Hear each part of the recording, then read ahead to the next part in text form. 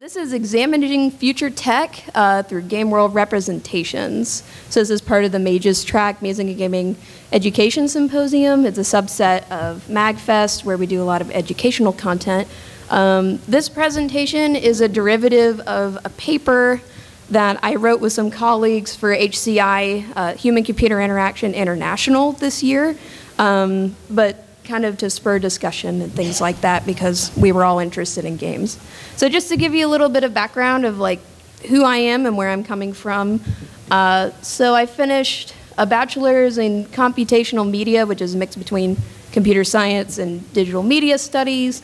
And then uh, after that, I worked as a full-time researcher at the Georgia Institute of Technology in Atlanta, um, and during that time, I worked on my master's in human computer interaction with a focus on computing. Um, so, some of the projects that I did when I was a researcher there uh, were different gaming applications like Games for Good, augmented reality, and different things like wearables. And the presentation today is based off of a paper that was published this year. I have the citation right here, um, but it was published in HCII. Uh, but I can go back to anything. So the gist of this presentation, um, here are a couple of main ideas and we'll elaborate on them. But initially, I'd like to provide, the purpose of this presentation is to provide a framework or kind of a lexicon for talking about the technologies that we see as demonstrated in games, whether those things that the user, that we as players use, or we use indirectly as characters in games and stuff like that. A lot of science fiction um, does a really good job of looking at like what can we learn from technology and what does uh, fictional technology borrow from the real world and vice versa. So applying that to games. Um, so media reflects our own understanding of technology and how we currently interact with it, um, how we could design and interact with things in the future. Um, everything in a game is um, to use lack of a better word, contrived. It's all deliberately designed. It's not inherent. That all comes from us and our point of reference of what we know and what we imagine.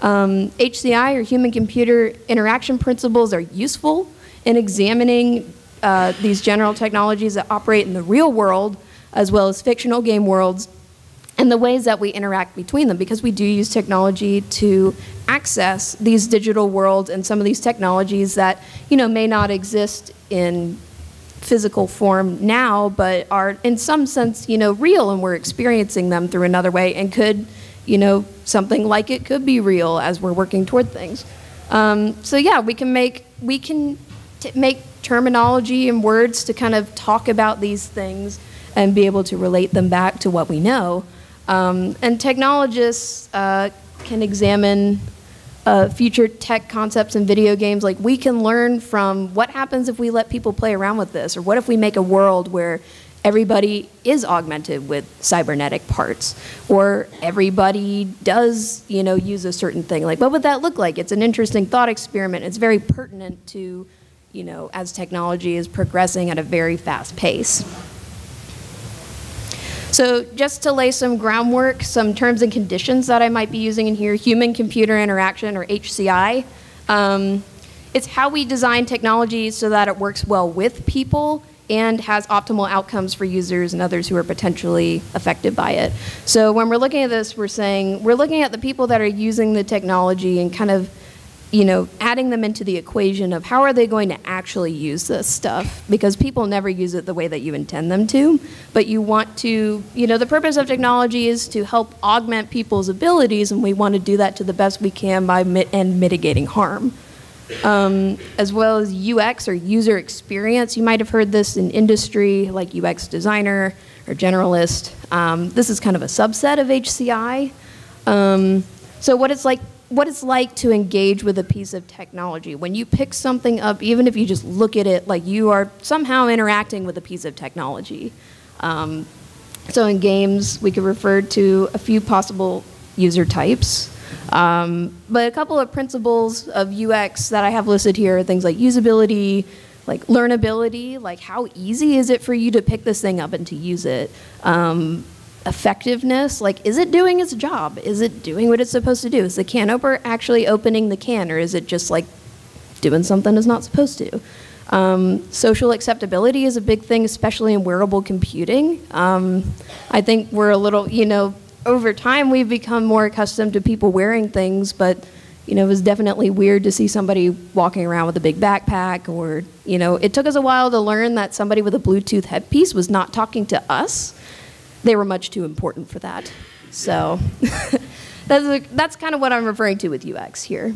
And then as far as diegetic or non-diegetic diegesis, that's actually kind of a film terminology, a film term uh, and that kind of means actual or belonging to a game world. So, can occupants in a fictional world perceive sights and sounds that the player can perceive? Like, if you're flipping through a, menu in Skyrim, I don't think any of the farmers can really see what you're doing.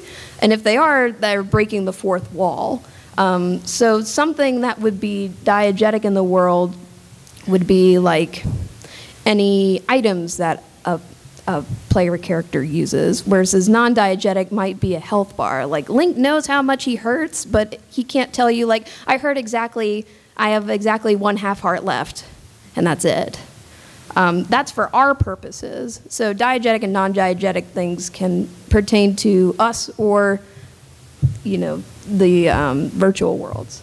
Um, so yeah, non-diegetic is not belonging to the game world. Uh, things like overlay music, user interfaces for players, um, usually, when music comes up in a battle, um, the person who's fighting it in the game world probably can't hear it. That's for you. That's to make you anxious, um, not them. They're already pretty. I mean, they're there. They're anxious. Um, and then just augmented reality. Um, when I'm setting the line in the sand for that, that's the real world with digital elements and overlays. So augmented reality is what you see in the real world, but things like you know, Google Glass was an example of that. Um, Pokemon Go is kind of an example of that, where you have like a feed of like real world camera, but then you're just placing things on top of it. Kind of like how they used to animate uh, cartoons with cells, where they would have part of it translucent and part of it uh, drawn in. Like AR is that drawn in part over the world that you're seeing. And then VR is when everything is digital. Like that is full visual, like you are not looking at anything in the real world in that case. That's just to clarify that point because um, sometimes that can be confusing of like those things can start to blur and merge together, especially as you load on more AR elements. So this first checkpoint is a point earlier that media reflects our own understanding of tech, how we currently interact with it, and how we could design and interact with things in the future. Nothing exists in a vacuum. Um, so this is a diagram that's kind of showing the relationship of, you know, video game tech and video game worlds as opposed to the real world. And this is derived from a film theory paper that was talking about, you know, looking at science fiction film and TV shows. Like Star Trek is a really good example of how things, how the real world informed the design of items um, in the in uh, the virtual world and then those kind of things, people got inspired by those and then started making technologies that looked like that. Like communicators in Star Trek looked really, really like flip phones. Like you could almost, I mean, if somebody photoshopped Samsung on the side of one of those, you, I, would, I would believe it.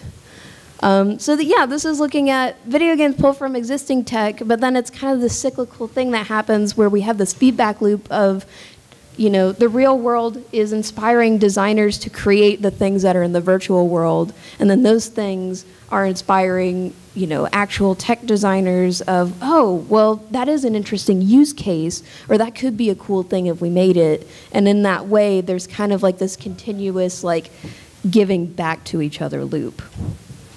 So we draw inspiration and references from the real world to apply to fictional tech, and we use fictional tech to inform our designs of real world tech. And another point of this is HCI principles are useful when we're looking at this relationship. It's a way for us to describe who the players are in this you know, relationship and how they interact with each other. Uh, so we can apply the ways we already understand to talk about technology. Like HCI is widely used to talk about real technology now.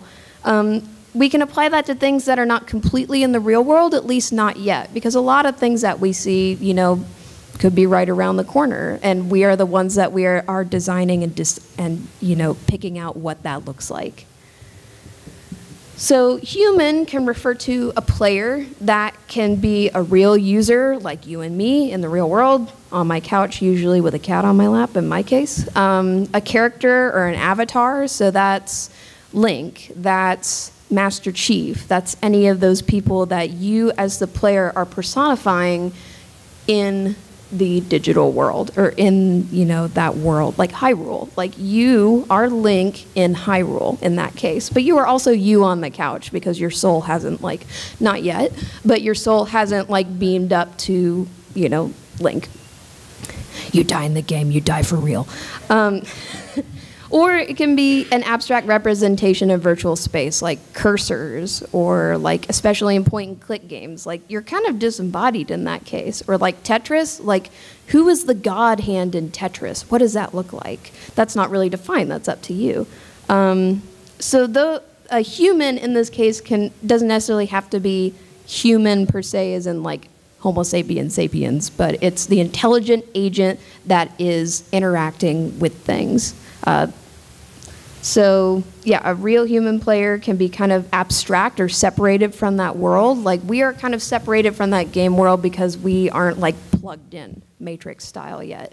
Um, and that can be third person omniscient. Like, if you're playing something like Civilization, you're kind of out and looking over the world and you're not really in it, but you're still interacting with that world. Or it's first person limited. Like you are Link running around, but you are limited to Link's point of view in that world. Um, oh, no, sorry. First person limited, I mean, is like first person shooters. Like it's more of you and you are kind of in there. What I meant with the other is embodied or integrated, which is you are playing the part of a character. You are embodying that person, and that is your means of getting around the world. I distinct, I separate character from avatar here because a character is usually defined by the game developers. That's something that's not really customizable. Like you can share aspects with a character and relate to them. Really good characters are very relatable. Um, but an avatar would be something more like maybe The Sims, or if you were playing an MMO and we're putting on you know, you're choosing what your character looks like and how they act and picking all the gear that looks nice but isn't really effective, but you know what, you die pretty. So those are the kind of me, like ways that we can talk about who is the user or the human in this relationship with technology as far as when we're in control. Now, a lot of these game worlds are also inhabited by other people, and those are NPCs. Um, those can be interactable, like your squad mates in Mass Effect. You're talking to them, you're issuing commands, and you're getting feedback from them. You're, you know, you're creating relationships with them, or you're breaking them. Uh, or they can be ambient. Like, there's a lot of, I don't know who hires the extras for all these games, but like, I don't know, like a lot of games where there's just somebody walking around. What? Like the uh, well, those are actually interactable in a way, but on a very primal level because you could kill them. But um, ambient, I mean, like, if you think about something like any of the Star Wars games, there's probably plenty of galactic citizens that you don't even see, or you might see them flying around in cars elsewhere, but they're still driving those cars. And so they are users, but you may not necessarily interact with them. But they make that world alive in a way. Um, and then when we're talking about interaction, that's uh, the computer the technology of interest. So that can be, you know, any kind of technology. It doesn't necessarily have to be a computer. Um, and that can be various form factors or types of technology uh, described by uh, the dimensions of another framework that I'm going to talk about next. Uh, does anybody have any questions at this point? We can elaborate on things as well. Not everybody at once. Okay, I can always go back to stuff. Yeah. Um, like, well, actually, no, I'll ask another question. Okay, what about like the non-player characters that are basically like the, the mushrooms in Super Mario versus non-player characters that behave humanly, like your opponent? Um. Well, those are different kinds of users. Like, I wouldn't say that the enemies in Mario are necessarily users of technology, but in a game, in a game like Civilization, other NPCs are, have access to the same things that you do. So you are interacting with each other through different means, if that clarifies that. So the next point here is we can make a lexicon using pre-existing ideas in HCI to talk about tech, both real and speculative, because they do impact each other. And you know, it's good for us to look at these things even if they're not here yet because we're the ones that define them. So let's make a set of tools and technology to talk about this. Um, we'll be using examples in gaming, but these can be applicable to other types of media as well. You can see I've already borrowed from like film theory for a lot of these. Um, so kind of looking at, uh, the heart of this paper is looking at um, like creating a set of, you know, categories and describers and adjectives of ways that we can talk about uh, the things that we see. So with contextualization, we're talking about like, how is the presence of a technology explained in a game world? Like, why does this thing exist? Um, does it exist for us, the players? Does it exist to help us play the game? Does it exist for the people who live in this virtual world, or is it both? Um, is it part of the lore of the world? Like, are characters aware of it? Or is it only known to us, the player, because it's only meant for us? Um, as far as information type, like, what type of information is being conveyed and in what ways, uh, if any, a lot of technologies are used to convey information. That's the heart of what user interfaces are for. Uh, what is the purpose of the technology to the player, which is us, or the character that's in that world? Um, how complex is the technology and the information it conveys, the level of detail? It could be something as easy as, um, you know, I'm the equivalent of a metal detector to go dig for something, or it could give you a whole lot of information. And why? What instances would you want a lot of information, and what times would you not want much at all? Um, level of abstraction. Um, how literal or abstract is the technology? Is it something that's rooted on or based on something that we have, or is it something that's just kind of floating out there more in a fantastical or like separated from a way? If you think about it like realism versus cartoony or something like that. Like cartoony is more abstract, but you get the idea of what it's supposed to be. Uh, that's kind of what we're talking about here is that level of fidelity. Um, and how abstract is the information that it presents? Uh, what is the level of realism or plausibility? Is this something that, you know, feels fairly grounded and, you know, rooted? Um, or is it something that's kind of on a peripheral level you only need to know a little bit? Um, visual integration with the environment. This is especially pertinent with augmented reality. Um, is the technology situated or like tethered in the environment or is it overlaid? So if you're playing something like a first person shooter, uh, you can usually see your number of ammo clips, your health, things like that. Those are kind of in the corners. Those are not really rooted in the environment because wherever you're looking in your frame of reference is always in the camera view, the camera being your eyes. Versus if you see, let's say you see an opponent or a, a, crate that has things in it that might have a highlight in it, but you move around the crate and that highlight still stays around the crate. It doesn't move with your head. So that's what we're talking about with tethering or visual integration. Uh, thematic integration, does it kind of belong with the whole diegesis of the world? Um, is it designed to be cohesive with an overarching contextual theme? Like the Sheikah slate in Breath of the Wild is very much a part of the lore and the technology of like, you know, it belongs there. It looks like some of the other Sheikah elements that are in there. It's very, you know, intentionally tied together. Um, yeah, is it diegetic? Uh, temporal conditions. Do you have it on all the time? Can you control when it's on? Uh, does it only come on during certain contexts? Um, yeah, is it conditional? Um, things like that. And in that same vein, spatial conditions. Um, are aspects of the technology dependent on like how close or far you are from something? Like how close do you have to be for that crate to be highlighted? Um, sorry, uh, proximity to the objects or other users, NPCs, things like that. Because a virtual world, like you know, we have great processing power now where we can render things quite far, but at the same time, it's, you know, it's very difficult to see something all the way across the map, and the, the technology is not really going to generate or trigger that until it's immediately pertinent to you. Like, I know that there's people in Europe that are making calls right now, but like, I just know that at an abstract level, like, I can more closely see, like, you know, you guys if you're using technology.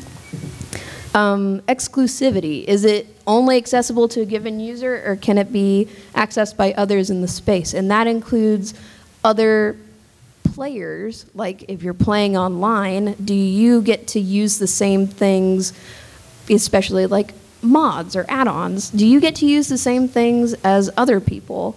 Um, or if you're in a very story-rich world, is your character, do they have access to some technologies that maybe um, your squaddies or your enemies don't? Um, does everybody have the equivalent of an iPhone in that world? Those kind of things. Like how, how widespread is it? Um, personalization and customization, like is it specific to the user or is it generalized? Is it custom fit? Is it pertinent to your job or what you're trying to do, or is it just a catch-all for everybody? Um, is it the same across users? Are you seeing the same interface as somebody else? Um, or is it customized based on, like, let's say your class? Is a tank going to see the same thing as a stealth build? Um, and then automation and agency. Is the technology automatically activated or is it controlled by user actions? And this kind of goes into um, temporal and spatial conditions where like are you the one that is initiating the use of technology or is it activating by itself? Like something will show up on the map automatically if it's of interest um, and that's not you doing it but you get to decide whether you pull up the map in the first place a lot of times. Um, so yeah what aspects of the technology can the user control whether that's the character in the world link pulling out the Sheikah slate whether it's you, the player, who is adjusting things on your interface, um, things like that. Or other users, let's say somebody else had a Sheikah slate, if they could trigger things. So the last point here before I go into some examples is that you know, technologists and we as users, because in a way we're all kind of technologists, we think about the things that we use, um, can examine future tech concepts of video games, often in the form of science fiction artifacts and systems. And I say this without limiting it to necessarily science fiction genre, because we can look at interaction methods for any kind of artifacts in a lot of games.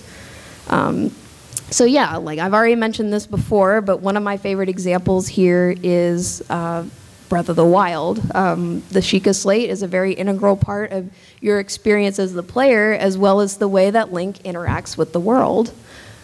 So you can see here, like using the ice block um, to create these uh, entities of ice from water, and you can tell in the marker like where you're going to build it. Um, you're manipulating real objects using things like magnetism. Uh, you're using something a little, maybe a bit more abstract with the map features. Um, I mean, you're documenting yourself on the camera, things like that. So let's break this down using those frameworks defining, you know, the human, the computer, and the interaction in this instance of the Sheikah slate as a whole. I'm talking about a bunch of the different functions that the Sheikah slate has. So in this case, the human, uh, the human player is embodied as an in-game character, that's Link, with some degree of third-person perspective looking inwards on the game via the screen. So you as the player are looking at the screen, and that field of view is limited to the character that you embody. So the player control character is narratively tied to the game world and uses the technology in this context. Like any of the menus and things you use, you know, are in the Sheikah slate. And we can assume that Link can probably see some of those things too. Like he wouldn't take pictures if he couldn't review them later. He's not taking them for God. Uh, and then the computer in this case is, yeah, the Sheikah slate. Um, it's a tablet device that fits in the playable character's hands and allows the player through the character to manipulate aspects of the physical world and receive information by means of augmented reality features. Um, so yeah, this is a really cool use case of augmented reality because we're seeing reality of Hyrule here. Like this virtual world is real to Link and your embodied character, but there's overlays here that maybe another person couldn't see, or that, you know, it's ways that Link is using technology to interact with elements of the world, whether indirectly, like through taking pictures, or directly through manipulating objects. So let's break down, you know, we've talked about the players and the relationship of the game, so let's describe that technology a little bit more and see how it relates to what we actually use.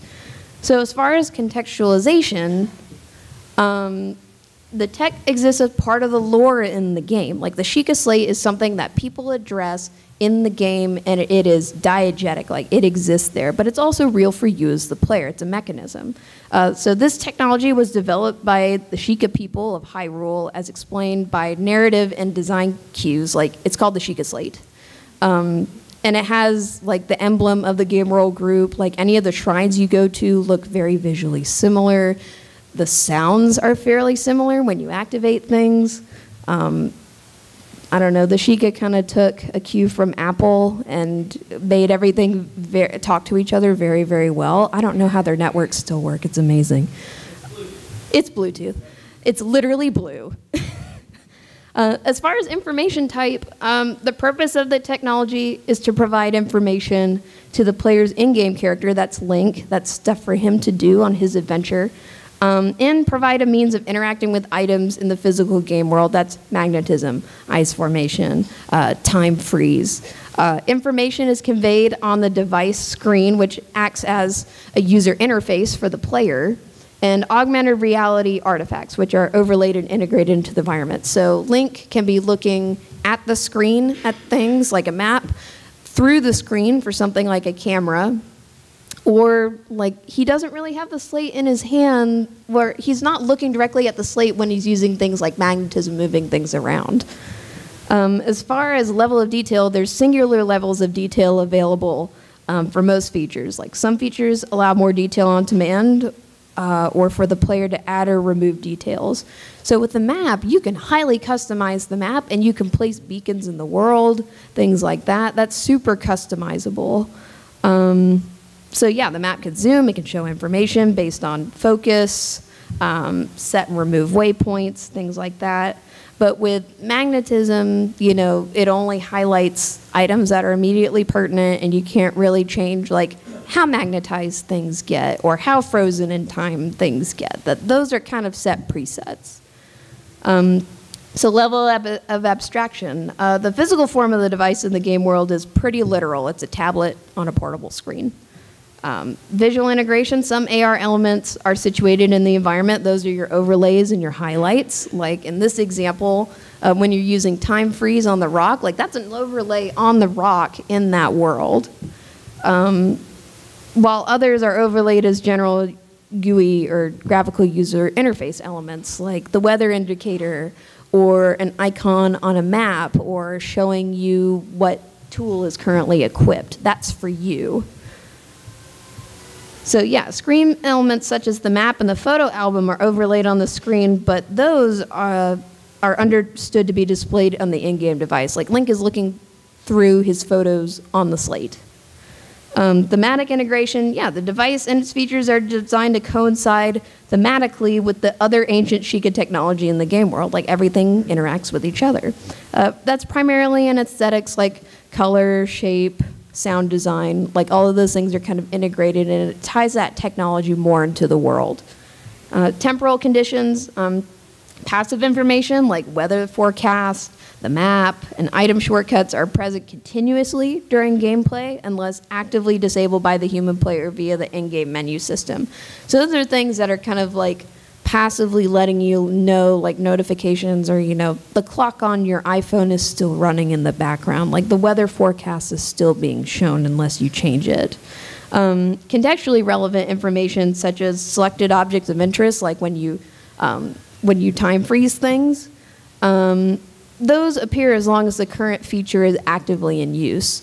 So for a time freeze this yellow highlight and the arrow of force Um, those are only going to show up as long as you are manipulating that object or before it runs out. With magnetism, it can be however long you have the thing active. With the time skip, that's like you have a set time to have that thing frozen in time, and then it starts over.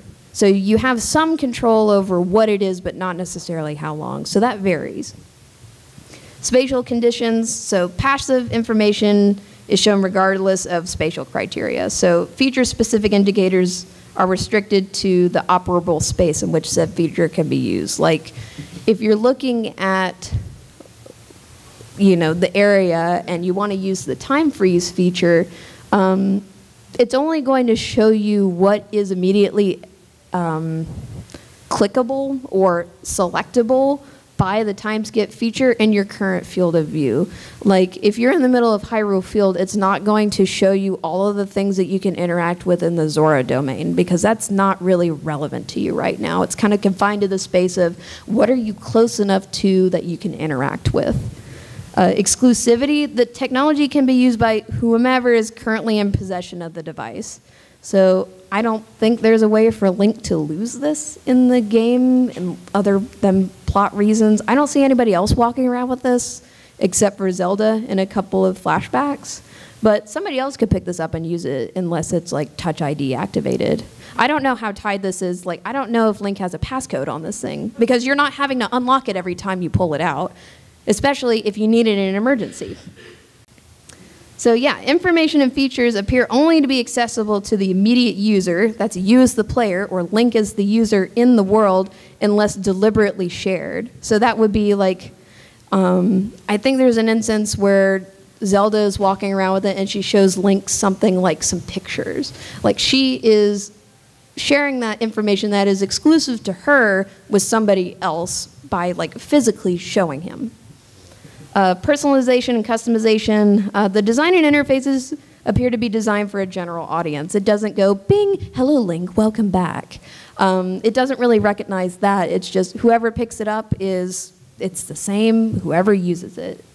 Uh, but features like photography and map editing allow you to capture set and remove information. So your map is probably going to look different from somebody else's, especially if you have the feature where it shows you how many and where you died because mine is going to be a lot higher than a lot of yours. And then automation and agency. So pervasive augmentations displaying general information such as like the game world clock appear automatically, but those can be turned off in the settings menu. Uh, the user can control when and how most features are used, but augmentations related to the active feature appear automatically. So you're only going to see things pertinent to time freeze when you're using time freeze. Um, but you can see things like your map at any time because that's always relevant to you. So another example that I really like is the Varia or Varia tomato tomato suit of Metroid, especially the Metroid Prime series. They do some really cool tricks with their user interface. Um, so I imagine the Varia suit as a wearable computing system which also implements augmented reality, but you know, in a different way. Um, it's a wearable computing system with contextually aware AR capabilities. So in this case, the human is still you as the player, but in this case, it's Samus um, on, I think, Tallon 4 in the first Metroid Prime. Um, and her interaction is, is she's inside of the technology that she's using. So that's a very different interaction style. And you as the player kind of get to experience what it's like to wear a wearable computer by embodying this character in this wearable you know, technology. So yeah, how can Samus interact with the suit and the world through it or in it? Like, we don't really know how she's pulling up things like maps. Um, we know that as the player for our own purposes, but if you were actually Samus in this world, or if you had the equivalent of a Varia suit in the real world, like how would you pull up the map? Is that like a gesture kind of thing? Do you like clap to get the map to come on? Is it something that it's like voice activated that says like, okay? Yeah, that's very efficient when, yeah, when you're trying to shoot something, map. But yeah, those are questions of like, if we're implementing wearable technology, like especially if your hands are busy or one of them is inside of a cannon, how do you pull up these different features because you still want to use these things? Um, yeah, how can we interact with the suit and the game world from our position in real life? Like, this game does a really good job of integrating like these diegetic elements of like you're looking through the vi- the visor even fogs up and everything, but anything that you see in the u in kind of the primary you know frame of this, we're assuming that that's what it's like to be inside the suit, and that's how the developers designed this technology to be. Um, yeah, like there's a mini map in the top, but how do you pull that down? So I think that's a really cool thought experiment to look at, you know, what would it be like if we made the Varia suit real? Um, not going to worry about like temperature and bathroom and human functioning because you don't have to take bathroom breaks in Metroid. Um, another favorite example of mine is the Omni tool in Mass Effect. It is very cool. I would love to have one, but I have no idea how it works.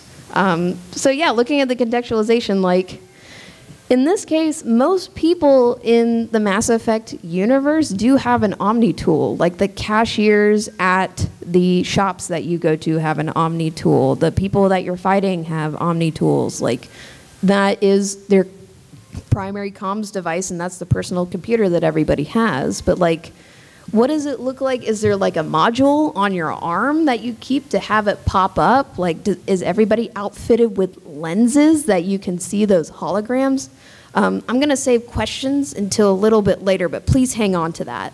Um, yeah, like the information type, in this case, the Omni tool can, you know, show you UI elements, but in this case, we're seeing it used a lot for just teleconferencing.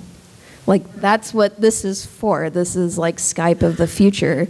Um, level of detail, uh, things like that. Like there's, you know, it's pretty high visual detail, but um, in this case, it's usually only focusing on whoever is talking. Like it's not capturing the entire room because you don't really need to like see where they are. It's like when you're on a Skype call, you usually have your face obfuscate anything else around your area.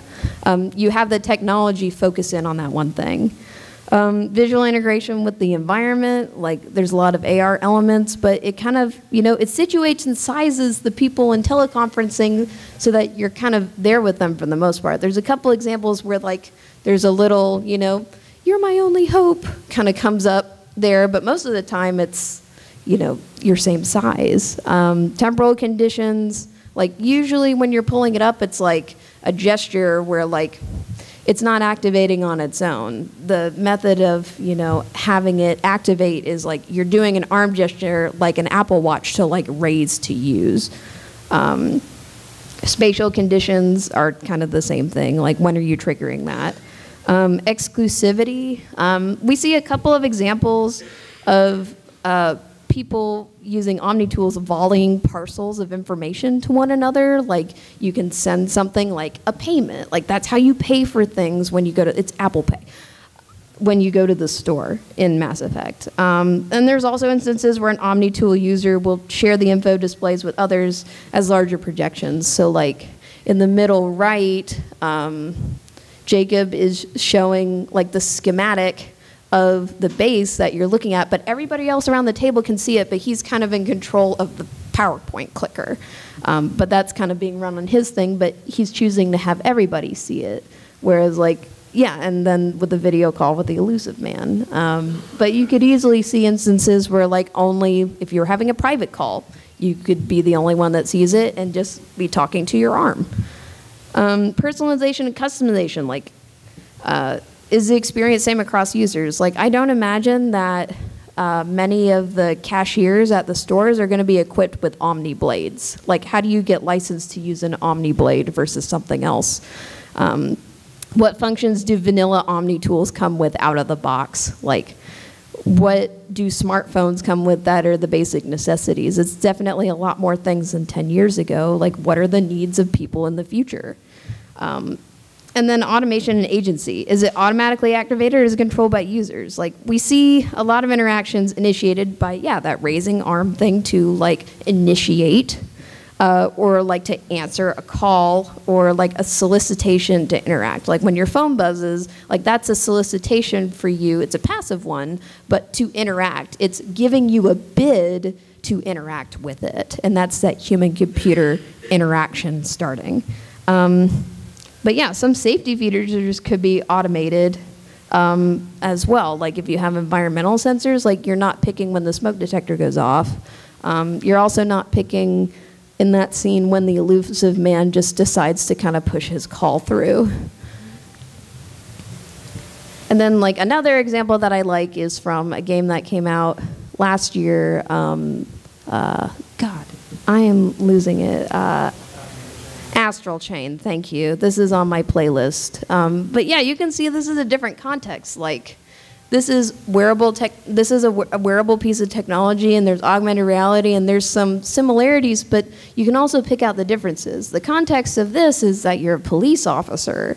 Um, you're not really like a soldier necessarily, because you use it for a lot of other things like recording information, um, all kinds of stuff. So you can use these terminal, like these frameworks to talk about like, and compare. You know, how is the wearable device in Astral Chain, like, what about that is different than like the Omni tool in Mass Effect? And like, what do we want to borrow from one versus the other? What does one do better than the other? Or what are some things that if we put them together, that would be a good way?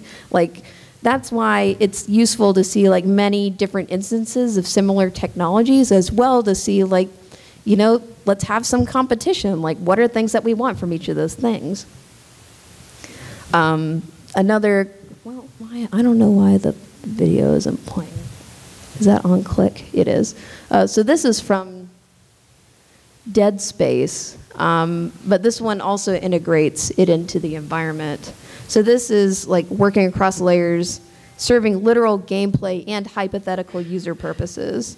Um, so like the wearable indicator system, initially I thought, well, why? I get why it's on the person's back because they're a mechanic. I get why it's on their back for me as the user. But what about the guy in the suit? And then I realized, well, that particular interface may not be for the person in the suit. It may be for the other people that this mechanic is working with. Instead of just asking, "Are you okay? Are you okay? Are you okay?" Like this ambiently shows anybody else if there was anybody else alive on this ship, um, you know, what the status of this person is. So, you know, sometimes the user can be passive or in the environment in that way. So, like another mechanic could be interacting with this technology, even though they're not the one wearing it, because they're pulling information from it that's pertinent to them. Um, and then, yeah, the UI system in this is, I think, really cool because it, you know, is very situated, and whatever, you know, the play the player sees is what the character sees. But it's also a horror game, so that artificially kind of narrows your scope because you're not supposed to be omniscient and know everything, or else it isn't scary. come on now. Okay, so just to kind of wrap up these things, like we're talking about, you know, we can describe the human or the users in relationships, and that could be us or the player or the characters that we play as. Those can be other entities that are moving around in that space. Um, the computer is any kind of technology or any kind of artifact of interest, and the interaction is the way that all of those things relate to each other. Um, and then we can use these metrics to describe what that relationship looks like in a little bit finer detail. Um, so at this point, I'd like to open up the, we have about 15 minutes left. I'd like to open up the floor to discussion. Um, if anybody would like to provide any input or to kind of talk about some of these things, like what are some technologies that you see that you think are really cool examples of like you'd like to see in the real world or things where it's like, that would be great in this game world, but in the real world it would be horrible. Like, um, I have another microphone up somewhere. I may even just, I'm gonna break the rules and like come down on the floor. Okay, so I can, I guess, kind of come around and take. Does anybody have anything that they'd like to share about any of this stuff? I know there was somebody before. Yes. Uh, it's not out yet, but particularly with Cyberpunk 2077, have you been uh, technology in there that makes.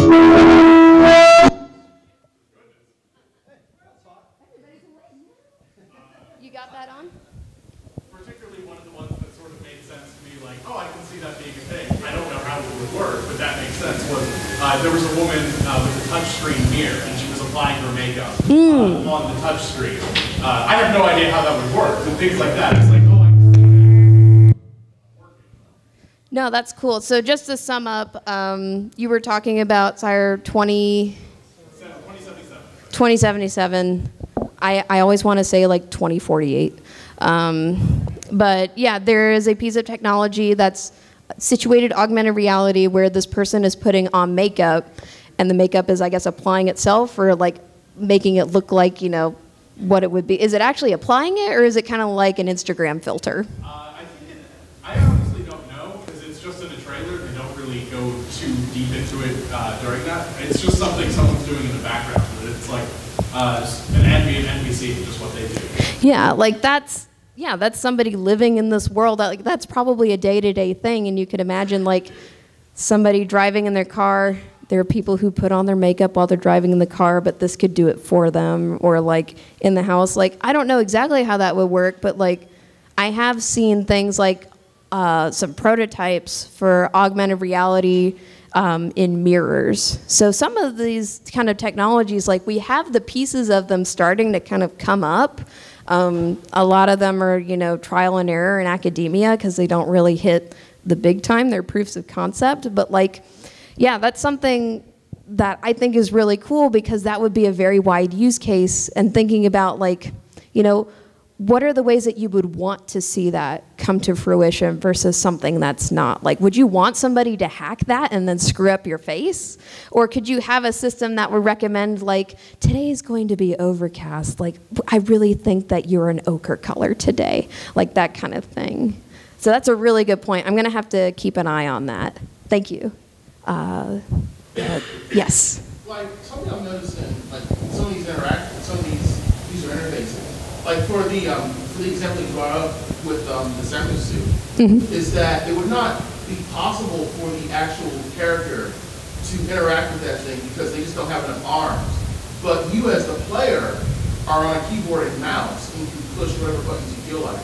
And therefore, that particular interaction, that, that thing, it- you can't do it like that, but the player has different user interface, mm-hmm. and therefore that's why it works. Yeah, so that's something that, like in HCI, we talk about as affordances, which is like ways that something can afford itself or like lend itself to using. Like a bar lends itself to grabbing. A controller with buttons, the buttons afford themselves to pushing. But Samus doesn't have those, so like in the case of yeah somebody walking around with a wearable we're going to have to rethink how we interact with things like you know we're very accustomed to using things with our hands but there's plenty of uh, input mechanisms that use things like your tongue or you know your toes or anything like that or even just like i mean someday we could probably read brain waves at some point.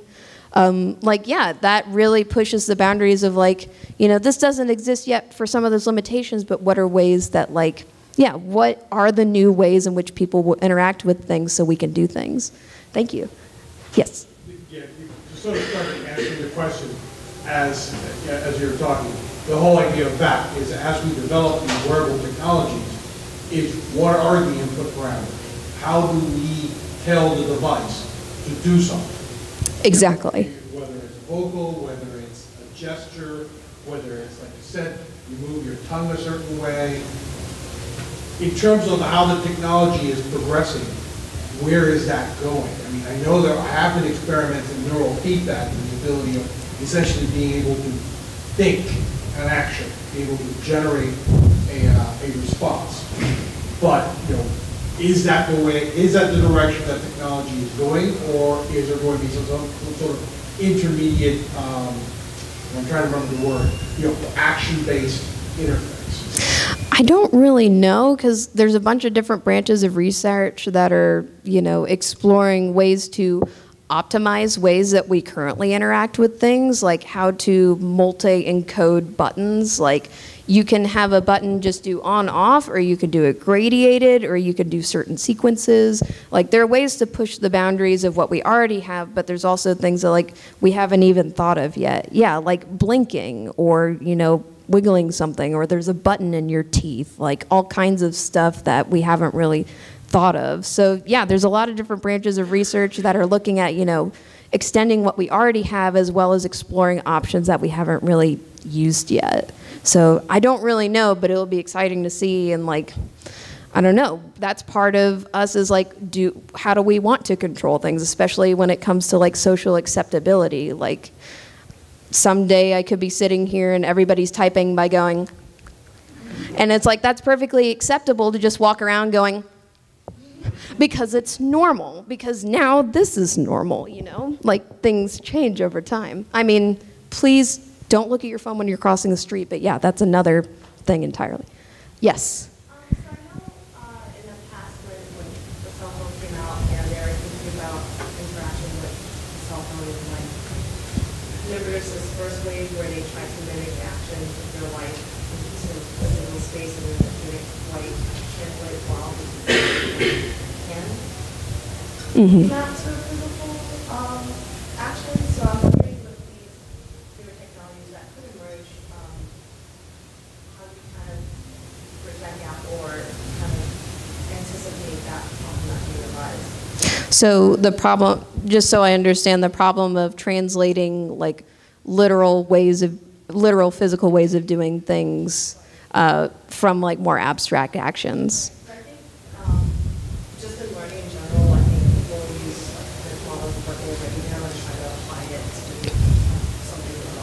Yeah. Yeah, and that gets into like different kinds of haptics or yeah, it's exactly the key phrase is mental model and I'm really glad you mentioned that cuz like that's that whole, you know, the real world, that is our mental model and that is our reality informs the reality that we make in the game and then that, you know, creates some kind of a mental model like you cite examples from fiction um, because they're relevant to certain things and that's that relationship with that. So um, as far as developing a mental model, like, you know, we can borrow from what we already know, but I think we also have to think outside the box a little bit and think about, you know, there are some ways to translate inputs and things um, to a digital um, input. Like, there's some arcade games downstairs. Like, there's a skiing one that like actual takes your left and right movement, and that's like a pretty literal way of translating that signal but on something more abstract like a controller that doesn't quite work. So yeah how do we you know what is it about a pinch or a zoom versus something else? Like you know how do we learn those more abstract ways of using things and incorporate those into our mental model and vice versa? So thank you so much. Uh, you in the white shirt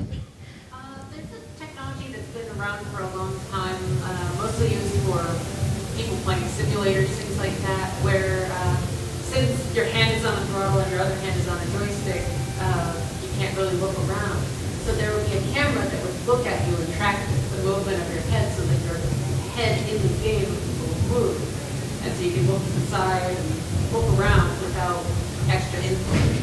Have you looked into those or are you aware of those? I mean, we, uh, yeah, like eye tracking is currently used. Um, like that's a big accessibility tool. Is eye tracking, especially for people who may not be able to use both of their hands in a way that a technology is kind of demanding them to. Um, but yeah, that's something that like with VR, it's you know built in. But that would be like it's my dad's dream to play a flight game where he can kind of look back and actually see stuff, even if it's, you know, not necessarily a VR headset, but, you know, that's another means of input that we haven't even talked about. Like, you know, you can use your feet, you can use your head, you can use all these different things. So that would be, yeah, very cool to, you know, free up a hand for the camera and use your eyes and your head, which you're normally using. And that's part of that translating, you know, the mental model of when you look and turn your head, you expect your view to change. So that is a really cool thing. So thank you so much for bringing that up. Uh, yes, you. Um, I have a question as well too. So with your research and looking at the different like new types of technology that are presented in these different games, the geography of where these games are coming from that uses this new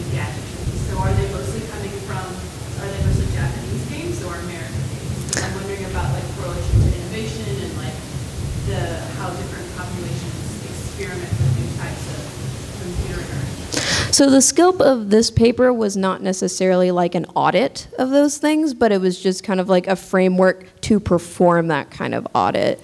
Um, from my personal experience, like I do play quite a few Western games, but I do try and you know play some Japanese games as well. Like Astral Chain was developed by Platinum. Um, and Nintendo, which is you know more of a Japanese influence, versus like Mass Effect was developed by Canadians. So, like yeah, that would be really useful to do an audit of like, you know, what does future technology look like compared to, you know, different places, different cultural contexts and use cases and things like that. We already see that in science fiction. Like, I wish we had cooler giant robots, but we don't. Um, but yeah, that would be really useful to do an audit and then, you know, to be able to describe these things and say, like, yeah, compare these things and what do we want that to look like in an increasingly global world where we're going to see these technologies anyways. Quick time check. Thank you so much for bringing that up. We got five minutes, thank you. Uh, yes, you in the back in the tan shirt. Have you, can you think of any instances of uh, technology that existed in a video game that has been actualized? And, uh, like, Hmm. Not off the top of my head. Um, oh no. Well, so in Metal Gear, in Metal Gear, in the Metal Gear series, um, Snake is wearing uh, a transcoder that's inside of his head, um, which you know we don't have implantable phones yet, but I want to say that might use something like bone conduction, and you can buy a set of bone conduction headphones on Amazon for $100. We call those a bone phone.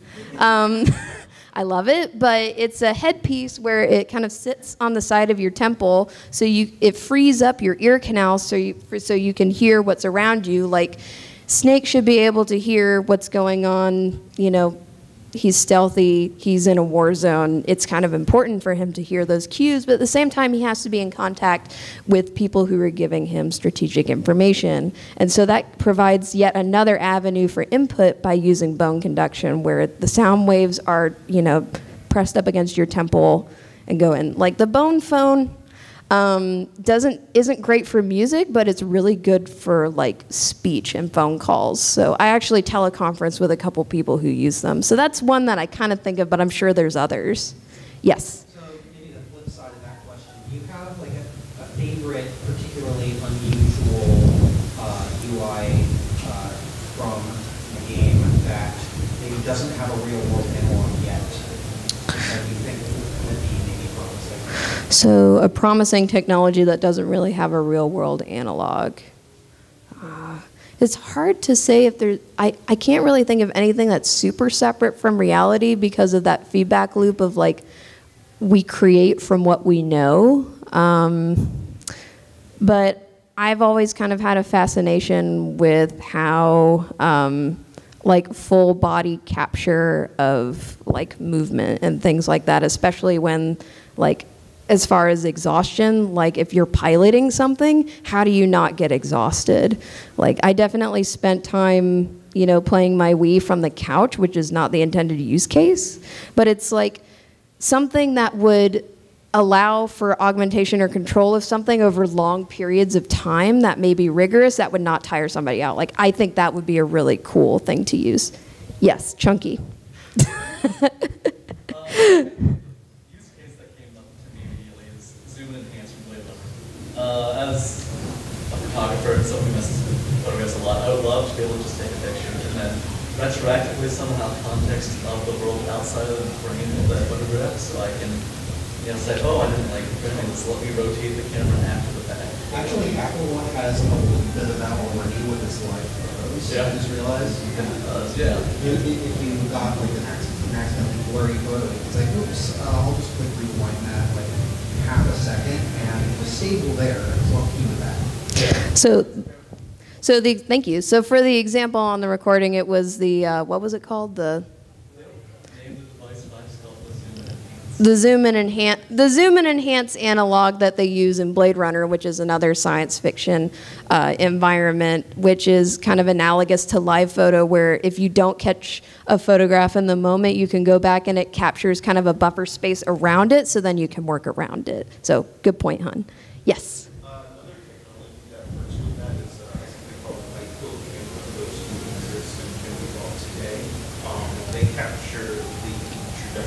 not vectors, but path of photons, so you can retroactively refocus uh, pictures. So this is called this is called the light. It's called a light field camera. There are different companies that make them, So a light field camera. but the general technology is called light field camera. That's really cool. So that's something that is, you know, extant to a certain extent now, but like that could be something that as the technology progresses could become something that is, yeah, becomes vanilla in a piece of technology that you buy. Thank you so much for bringing that up. Uh, one more quick time.